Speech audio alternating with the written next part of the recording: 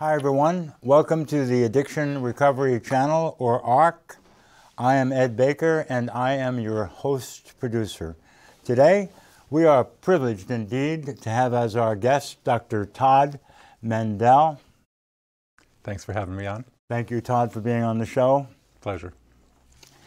Dr. Mandell is a board certified psychiatrist with added qualifications in addiction psychiatry.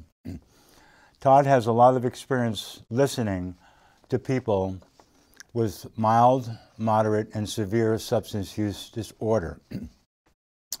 Todd has over 30 years' experience in the field of addictions, both providing direct services to patients and also in the administration of programs and projects specifically focused on this population. Dr. Mandell also Todd, please. enjoy Todd Todd also enjoys the distinction of having co-founded the Northern New England chapter of the American Society of Addiction Medicine. I guess you know, the way I'd like to begin the show is to give you an opportunity to share with the audience what it was about this particular population, people with addiction, that uh, caused you to dedicate your career to working with them. It was actually very interesting. A supervisor of mine during my psychiatric residency said to me, Todd, addiction psychiatry is where you need to go. And I said, why? He said, You're going to have a huge opportunity to work with a very diverse population and to help people. Mm. And you'll be able to see that uh, take place over the years. And as it turned out, the job offers that I had after residency all involved programs that had a psychiatric component and an addictions component. Mm-hmm. And the rest is the 30 years. Yeah. So you something resonated and you grew into it? Yes. What's it been like for you? Has it been a rewarding experience? I would say very rewarding overall. There have been a lot of frustrations, um, policy frustrations, people not having access to the treatment they need, the stigma that we continue to talk about in all areas of addiction, sure, sure. and when we lose patients. Yeah. It's a heartbreak. Yeah. Um, but overall, I've seen patients have come up to me many years after we worked together and they said, I'm getting it, doc. And yeah. it does my heart good. Yeah. Sometimes you'll see them with, uh, you know, fruitful employment, wonderful families, physical health, mental health. It's a beautiful thing. Yep. You get to see that. I find you get to see that if you live, uh, like I live in a, I was living in a very small town where I also practiced, and you just, you know, you just you just see it. You see the fruits of your labor. Yep. It's a beautiful thing, Todd. So, I'd like to begin now by setting a like a context for the show. the U.S. Uh, mortality rate has gone up three consecutive years. Converse to this, our life expectancy has dropped for three consecutive years. Most of the top 10 causes of death in America are declining year over year. However, the third leading cause of death, which is unintentional injuries, has climbed both in rate and rank. This is profound. Driving this are deaths due to drug poisoning, drug overdose. 72,000 Americans in 2017, roughly, 70,000 Americans in 2018, roughly, were taken by drug overdose death. Annual deaths due to drug overdoses presently exceed those from motor vehicle deaths, gun violence, and the HIV epidemic at its height in the 1990s. This is addiction in action. Today's show uh, will focus upon the American Society of Addiction Medicine's recent revision of their 2011 definition of addiction. it's important that we understand what addiction is. So I'll begin by reading the definition and then we'll begin discussing it. This is the 2019 uh, definition quote Addiction is a treatable, chronic medical disease involving complex interactions among brain circuits, genetics, the environment, and an individual's life experience. People with addiction use substances or engage in behaviors that become compulsive and often continue despite harmful consequences. so, with that, Todd, you know, I'd like to just ask you to elaborate a little on that definition. What do you think is important for the general public to understand about that definition? Well, I think the fact that it's become much more multifactorial in terms of just the description of, of the disease process. At one point, I think it was in 2011 that we talked about, we really talked about the brain changes, and that's quite real. However, it's not all, that's not the only explanation. And the fact that ASAM now talks about life experiences, the environment, genetics, it's much more multifactorial than just the brain changes, mm-hmm. even though the brain changes, as I said, are quite real. Mm-hmm. So there's like a, a, a strong emphasis on the environment, including, and I'll read, I'll read again because I think it's important to get it out the way that ASAM is explaining it.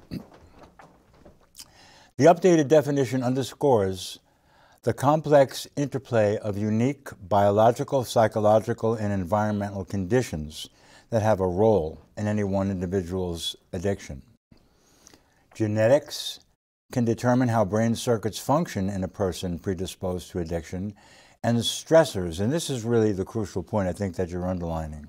Stressors such as adverse childhood experiences, lack of healthy social supports, and limited prospects for employment or stable housing can exert significant pressure on the brain circuitry of individuals at risk for addiction. So it's capturing, I, I guess it's called the epigenetic. Good word. Dynamic. Mm-hmm. Uh, you care to elaborate on that a little bit? well, I think one of the um, examples that I give very frequently is if someone is hungry, no matter how motivated they are, to work on their recoveries because we talk about mental health issues and substance use issues, so I use an S at the end of that. Mm-hmm. If they're hungry, it's going to be very difficult for them to stay focused on the work they need to do. If they're living under a bridge, it's going to be very d- difficult. Likewise, no matter how motivated they may be at that time. So, what are the stressors that a given person is trying to manage at the same time as they're trying to manage their treatment and their recoveries. Yeah. So it's very easy to look at this conglomerate, which is a really nice way of describing it, but how does it affect each given person? And everyone's unique just like everyone else. Sure. So, how do you help a person deal with all of the rest of the um, factors that are going on and maybe working against them in their efforts at recovery? Yes, and I, well, well put. And what, what I've noticed about this is that some of the factors that can contribute to the development of addiction are the same factors that contribute to the perpetuation of addiction right. and that also feed into making recovery so so difficult and, and, and sometimes impossible. You know, I'm, I'm, i know you've seen it because you've been in the field for a long time, and so have I, that we would have people who would be discharged from uh, a residential treatment program with no drugs in their system. In the very beginnings of, of, of the possibility of brain healing, discharged into a community where drugs were prevalent and there was not even a, some of them didn't even have a referral for psychotherapy. There was not a lot of AA and NA around, and there certainly were no recovery centers. So these people were kind of discharged back into an environment that was almost overwhelmingly in favor of, of relapse. Well, certainly at the time of discharge from any type of long term program is a high, time, high risk time for relapse, potential relapse, overdose, and potential death. Mm-hmm. So it's a particularly scary time or a risky time for a person, and handing someone a referral a paper, a card yeah. with a referral name on it isn't really enough. We right. call it the warm handoff is much better. Mm-hmm. And modeling to patients how they can advocate for themselves with a new provider. We don't give a name of a cardiologist for a person with um, heart problems and expect them to call themselves without a referral. Mm-hmm. There weren't many resources available for substance use disorders, but now that there are more of them, how do we help with the better handoff so that the person betters their chances of getting to their first appointment? Yeah, yeah. and I think, and then retaining them. Yes. Well, retention's a tough one.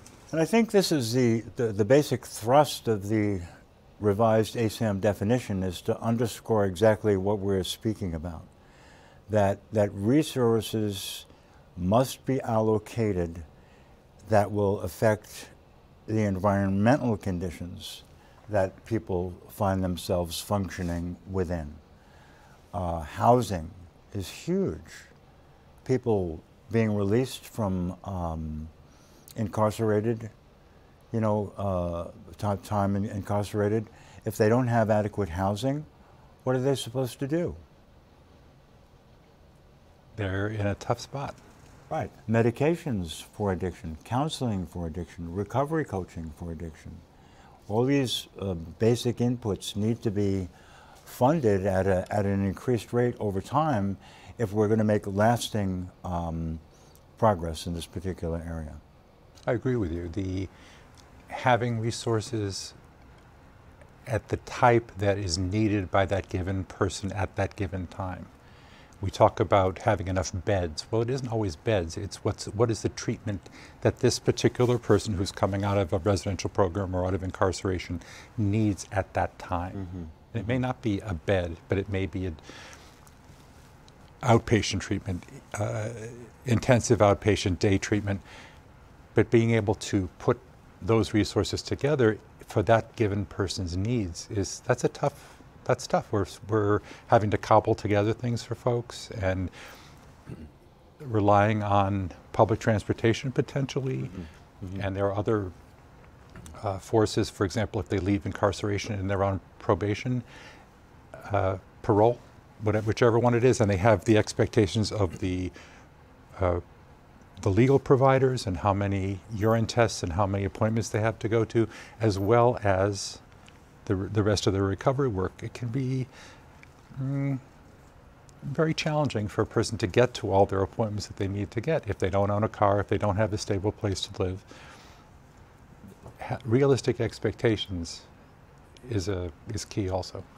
And I, I, think one of the things, and, and that again is well put, I think one of the things that we're seeing today, especially in Vermont, and I think Vermont is a little bit different than a lot of other it states is, in America. Yep. one, one of the things we're seeing in Vermont today is a, like an acute uh, new awareness of this idea of addiction being a brain disease and that we have to respond to it in very certain ways or people are not going to get better. Now, I know that you served as the medical director for the Office of Alcohol and Drug Programs here in Vermont during a very formative uh, period. when we were, you know, the uh, opioid epidemic was beginning. I think you were part of rolling out methadone and uh, buprenorphine and certainly yes. expanding uh, treatment uh, opportunities for people. what's happened since then, and I think what you, you laid a lot of the groundwork for what's happened since then, what's happening since then is, is actually profound. And, um, you know, on, on, many levels, we have uh, uh, recovery supportive housing now. We're expanding that people are being licensed so that the housing is of a, the, the best possible quality. We have the Agency of Transportation uh, looking at ways to get people to AA meetings and NA meetings and appointments. Uh, we have um, recovery friendly workplaces being developed so people can actually, you know, um, secure meaningful employment. We have just so much going on in Vermont today. And I think it's in recognition of, of the, the, the profound nature of addiction. And I'd like to go into that a little bit. That what, what the um, ASAM is calling addiction is specifically a brain disease that develops in the later phases of substance use disorder. Mm-hmm. So we have three phases of substance use disorder mild, moderate, and severe. And the American Society of Addiction Medicine is saying we want to use the term addiction for the more severe manifestations of substance use disorder. Do you care to comment on that? What, what, what is it that occurs in the brain at those later stages that differentiates uh, addiction from mild substance use disorder? Well, first, let me comment that I think that giving the scale, the sliding scale of severity, is a really important piece. It, it used to be mm, not all or nothing, but it wasn't as descriptive as it is now, mm-hmm. and they call it substance use disorders to remove some of the stigmatizing words from the definition. Yes. Yes. Someone who may be using substances at a recreational level that may be too much and they start to suffer consequences from it and change their behaviors tend to be in the milder and they haven't had the brain changes which we talk about the and I know Dr. Brooklyn previously has talked about the pleasure center and the reward center yes. and neurotransmitters less likely to have occurred at the lower level of severity. On the other hand, there are people who use crack cocaine a couple of times mm. and they start to have mm-hmm. changes mm-hmm. pretty early on, and the, and the compulsion yeah. um, comes up pretty quickly. The other people, as you, we talk about kids at college who unfortunately does a lot of substance abuse, use, just substance use, let's say, at college, and um, someone gets an ultimatum from their family, I'm not going to continue to pay for your education unless you straighten up, mm-hmm. and they do. Yeah. yeah. Some people are not as fortunate.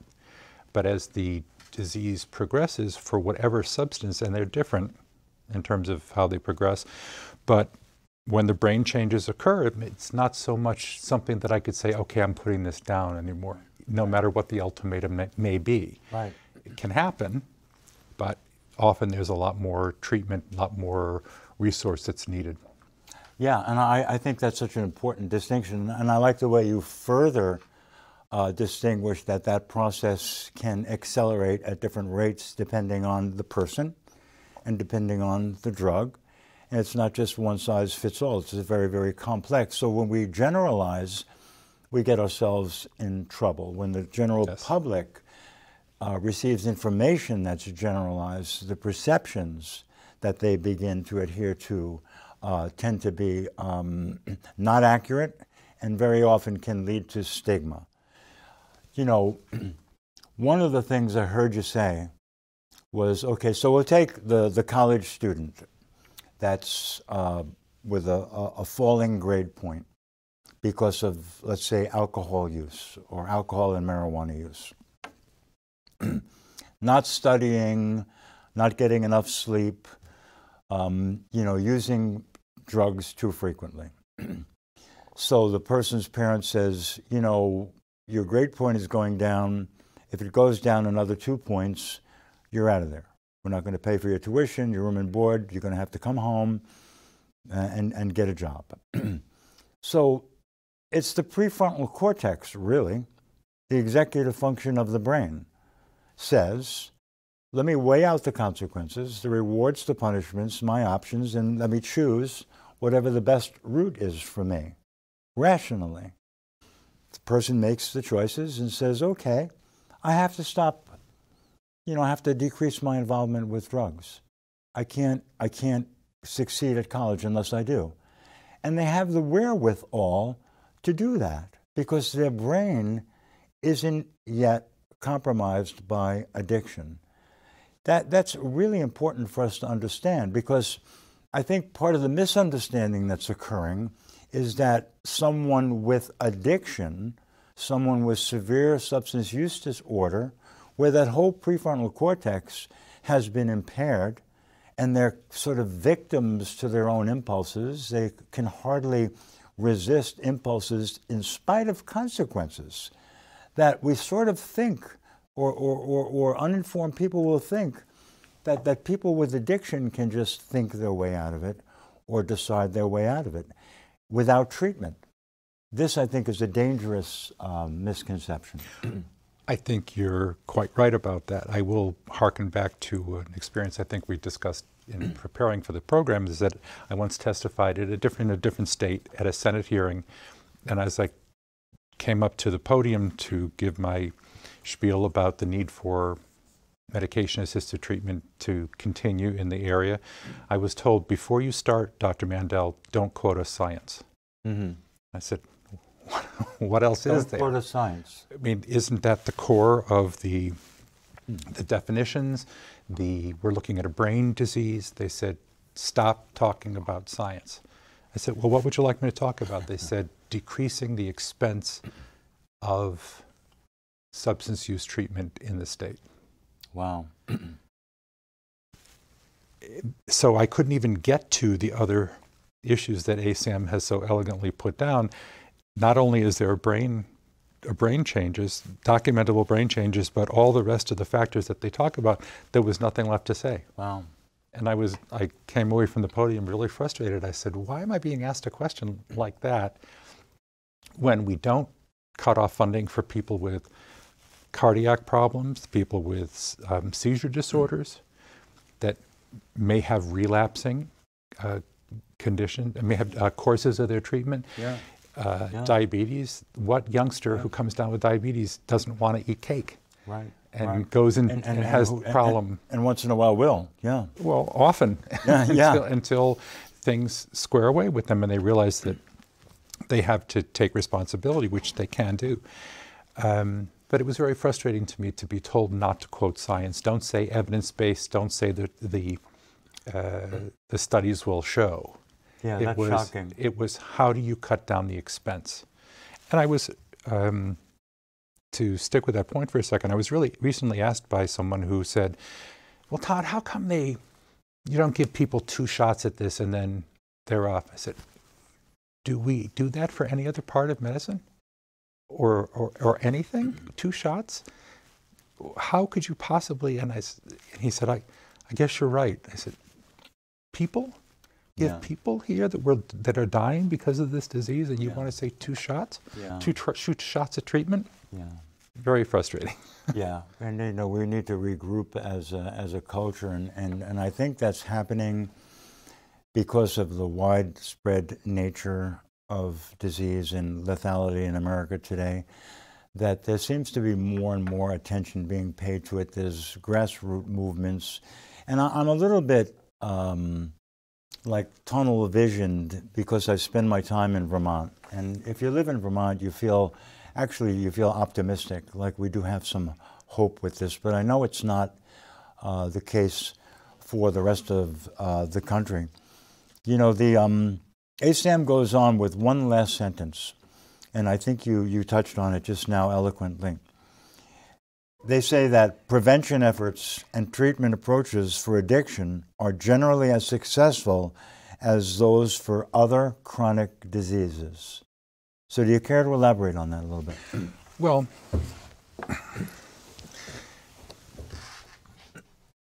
let's look at the use of antibiotics.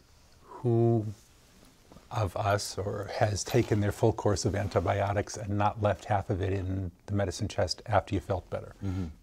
So medication compliance across the board in medicine is not 100%. It's not even close. So how can we expect folks that have this constellation of risk factors and brain changes to be perfect? We're all human. We all make mistakes and we all um, have setbacks.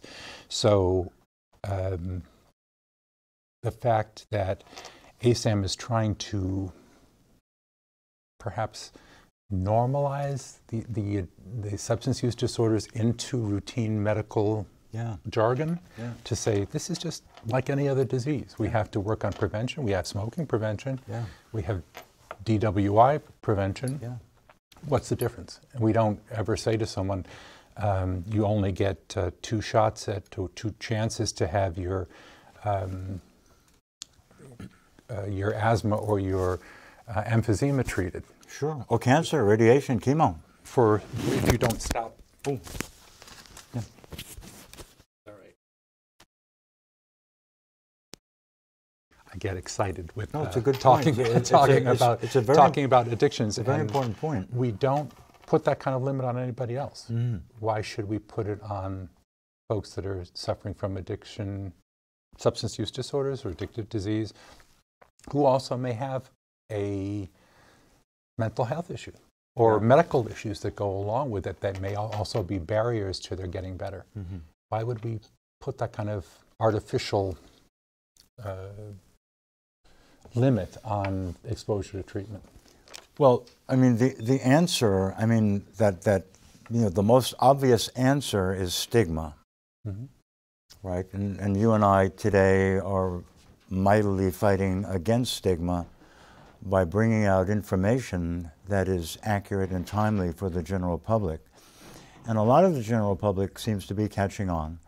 But, but still, stigma is alive and well in, a, in, a, in America today, and I'm sure we're, we're all too painfully aware of that. you know, I'd like to just focus a little bit more on the, the commentary on the um, definition. they say, ASAM says, we will not be able to punish our way out of the crisis, and we must face the reality that stern talks about drug use will not treat a devastating disease. Blanket punitive policies, including incarceration without access to evidence based addiction treatment medications, ignore science. we have no evidence that a felony charge or time in jail cell addresses the underlying disease. And the consequences of incarceration only add further pressures that make it more difficult to manage the illness. So it seems like they're really trying to, to get at the fabric of what is perpetuating you know, addiction in America. This misunderstanding that a stern warning or punishment or the war on drugs, like that's going to work. It's just not going to work. And they also begin to look at profound cultural and, and societal arrangements.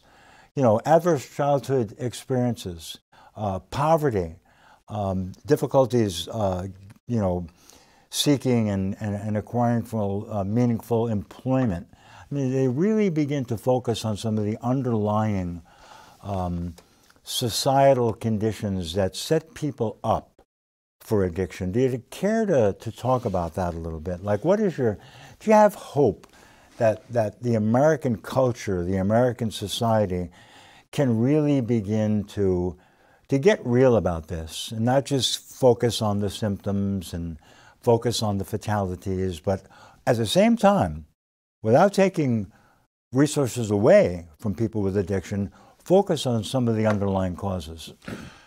Well, let's back up for just a moment and look at the stigma that exists within the treatment provider networks. Okay. One of the things, one of the um, the tip for substance the, the substance abuse sub, substance abuse uh, SAMHSA um, talks about is that someone showing evidence of their substance use behaviors, for example, a positive drug screen, does not mean they should be discharged.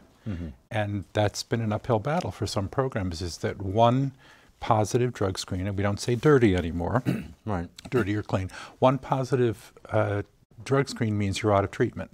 How does that help the person when they're just exhibiting symptoms of the problems that brought them into treatment? Of course. So even within the treatment network, we still have our own uh, baggage to clean up.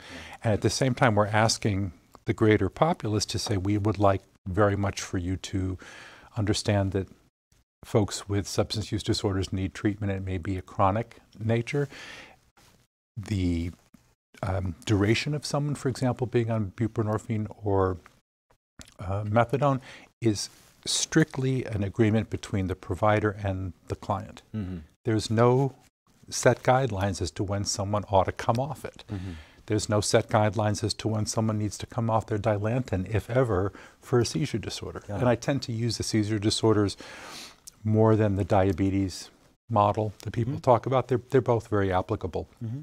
But how do we, what ASAM is trying to do, normalize or embrace addiction, substance use disorders into the medical model, into the medical, into general medicine? Yeah. And I think that as providers, we need to set an example. So along those lines, you can have a, a, a provider's office, a physician's office, with a waiting room, maybe a group practice with five physicians in a waiting room with maybe 10 people in it. And two of those people might be there to see their doctor um, for a urine drug screening and to have uh, buprenorphine, uh, a prescription, you know, updated. Mm-hmm. And they're just in the waiting room with everybody else who has some sort of medical condition, and it's just seen as the same. Nobody knows why anybody's there. It's all confidential. You're here for buprenorphine. You're here for this medication. You're here for a checkup. whatever. It's all just part of the American health landscape. Is that what, what you that mean? was that was the original intent of Yeah. the release of buprenorphine. Mhm. It was office-based treatment, Mhm. just like any other person coming in for any other problem. Just a little bit more training because we know no other medicine has required eight hours of training Mhm. To be able to prescribe it. But that was the point. It was office-based treatment to normalize, Mhm. as opposed to and um, some people have trouble with going to a methadone clinic. some people have trouble going to AA. So it's trying to match the treatment approach and setting for the person, not just the medicine. All right, and, and I think that th- th- that profession, ASAM, uh, social workers, certainly licensed alcohol drug counselors, uh, licensed mental health uh, counselors. There's a lot of private practitioners out there. There's a lot of programs and projects focused on this that are all kind of you know moving this ball forward.